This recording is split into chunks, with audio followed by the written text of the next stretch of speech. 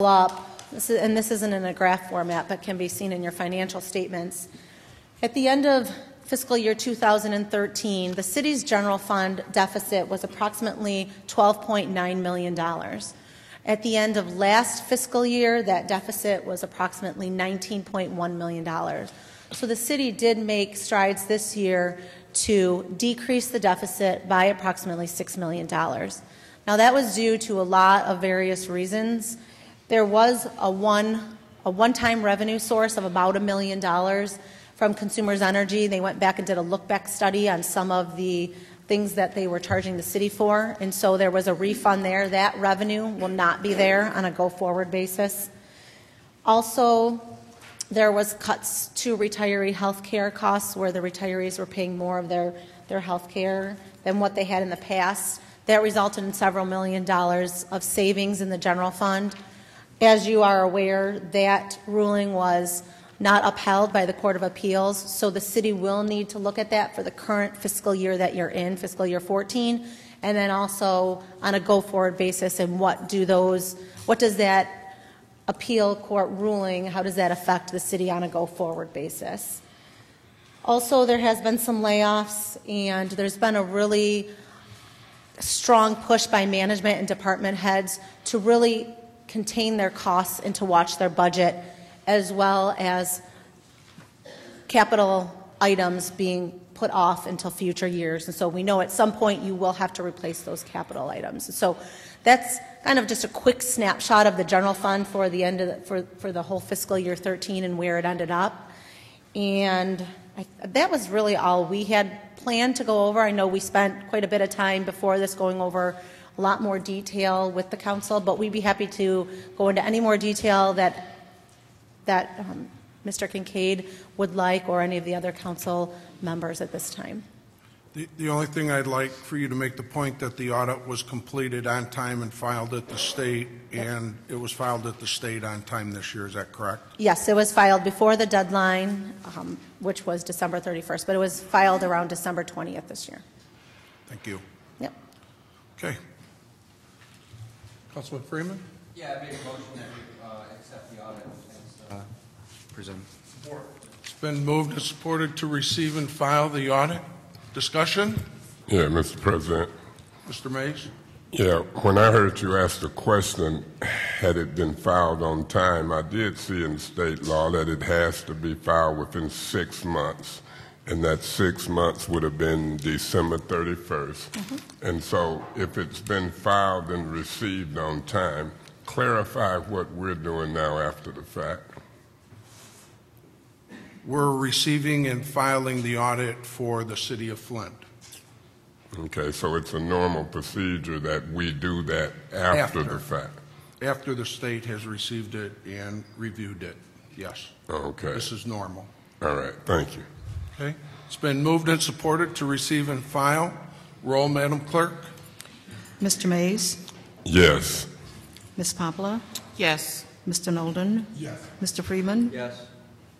Mr. Davis, Yes. Mr. Neeley, Yes. Ms. Galloway, Yes. Ms. Van Buren, Yes. Mr. Kincaid. Yes. The vote is nine yes, zero no to receive and file the audit. Thank you very much. Mr. President. Mr. Mays? Yeah, Mr. President, if I may, I noticed that there's a special order update by Emergency Manager, um, Mr. Darnell Earley, and that's a special order. And if I may, I'm going to try to probably ask that we suspend the rules or put it in a formal motion because unless Mr. Earley or the council objects, I'm hoping that Mr. Earley will attend this meeting and hear what some of the public has to say. And so what I'm trying to get at is this. Whether it's the mayor, Mr. Earley, or whatever, this meeting was scheduled to start at 5.30. The public was here. They're here now, and I know for a fact that some of the public want Mr. Earley to hear what he had, what they have to say. I don't know how long this special order will last. Maybe Mr. Earley or you or somebody could shed light on it for me. If it's not going to last long and inconvenience the public or Mr. Earley don't mind, I really have an inkling and a you know, it's in my mind and heart for the public to be heard first. Mr. Earley hears some of what, what the public got to say, and then we proceed with the special order. Now, if um, I can put it in the form of a motion to suspend the rules and do it that way, I'll see if it it's a second or informal discussion, or even Mr. Earley, maybe he'll give the courtesy to the public. But that's what I'm hoping can happen here today. Okay, thank you. Mr. Earley, special order? I'm sorry? I was unsure, was that made as a motion, or was that Mr. Irving extending courtesy to the public? Mr. Mays made a motion for us to suspend the public, or the uh, special order until the end of the meeting so that Mr. Earley would have to stay here and uh, tell the public. I don't believe, Mr. Mr. President, I also extended the courtesy to Mr. Earley to um, agree to that so he could hear the public, or I also said that he could give us an idea how long it would take. I'm just trying to be courteous to the public first and foremost, with wanting Mr. Earley to hear them, and I'm trying to be, you know, courteous to the decorum of this council meeting as well. So when he got up, I don't know if he was going to get up to agree or shed some light. But yeah, I did put a motion on the floor, but my colleagues have been courteous, and I think we're being courteous. So if the motion can stand until we hear what Mr. Earley say, um, then I think we could know from my colleagues whether it would get a support. well, the special order is for Mr. Earley to give us an an update on his um, plan that he has submitted or is about to submit to the state.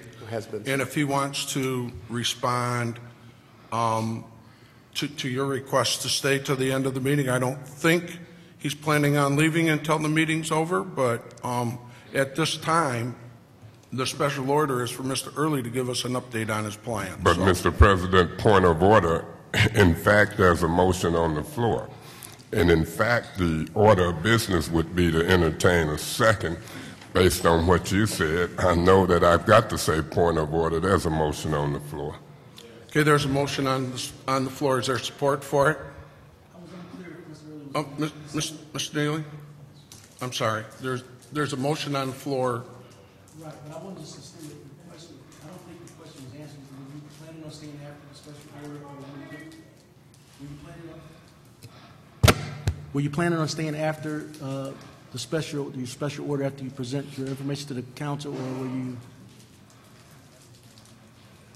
Mr. President, and to the members of the council, it was my plan to take about 20 minutes and run through the items under the special order, and I had every intention of being here till the meeting concluded. I, I would accept that. Okay. So, Mr. President, if I may, and this would lay that to rest, but Mr. Earley, do you mind whether the public go first? Through you, Mr. President, to Mr. Earley, do you really mind? Well, I want to get the reports out. I want to take care of that business, and then whatever uh, the remainder of the agenda uh, should pretty much stay intact the way that it is. Mr. President, I withdraw my motion. thank you. Mr. Earley, on the special order, um, you, you may proceed and give us an update um, on your report. Thank you, Mr. President, and to the members of the City Council. There are obviously a number of items that have transpired since your last meeting as a council, and certainly uh, some that have happened as recently as the last couple of weeks. And I would like to call Mr. uh, uh, Ambrose and Mr. Bay, the attorney, forward to talk a little bit about uh, the issue of the Sixth Court of Appeals ruling on retiree health care. And those of you who heard the detail of the auditor's presentation know how important this issue is to our ongoing uh, solvency in the city of Flint.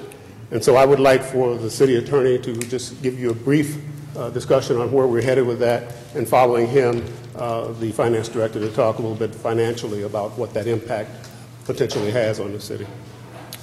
This case is called Welch v. City of Flint. It's a case that's pending in the federal district court in Detroit before Judge Tarnow. Um, It is a case that was brought by a group of retirees. Uh, As you may recall, uh, Emergency Manager Mike Brown issued a number of orders that modified health care benefits to existing employees and to retirees. Uh, Union contracts were amended, a- number of things happened to modify uh, health care benefits that the cities offered due to the financial emergency. Um, This group of retirees filed a federal lawsuit seeking to stop those changes. At the very beginning of the lawsuit, they filed a motion for an injunction. An injunction is asking the court to stop the uh, modifications during the pendency while the case is going on.